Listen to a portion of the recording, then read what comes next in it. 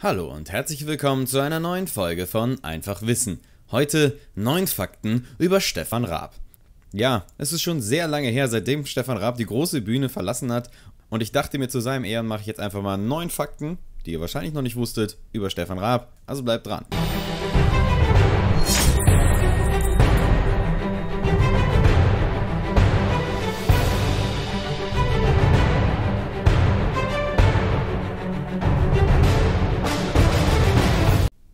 Fakt Nummer 1.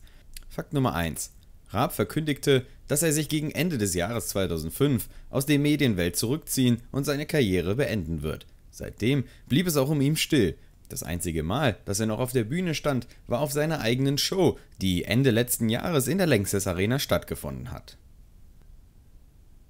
Fakt Nummer 2. Gemeinsam mit Nike hat Stefan zwei Töchter und die Familie hält zwei Hunde. Fakt Nummer 3.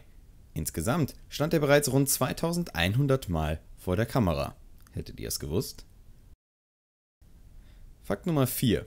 Seine Frau trägt den Namen Nike und arbeitete als Redakteurin bei der Produktionsfirma von TV Total. Fakt Nummer 5. Der Moderator schirmt sein Privatleben völlig vor der Öffentlichkeit ab.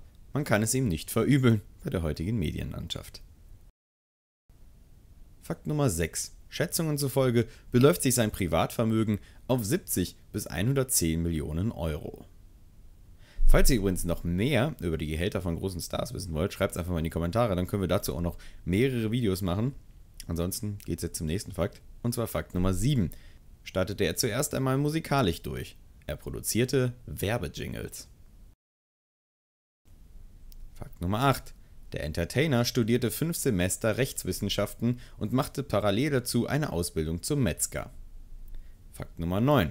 Stefan Raab hat einen eigenen Duschkopf erfunden. Das Ganze nennt sich, ziemlich kurz und knapp, Dusch. So, das war schon wieder mit den neuen Fakten über Stefan Raab. Schreibt es mal in die Kommentare, ob ihr gewusst habt. Ansonsten, ja, es war ein sehr kurzes Video, ein sehr kurzes Faktenvideo, aber ich habe letztens mal in den Kommentaren gelesen, dass ich mich etwas kürzer halten soll. Schreibt mal, ob das jetzt nicht zu kurz war. Ansonsten sage ich bis zur nächsten Folge und Ciao.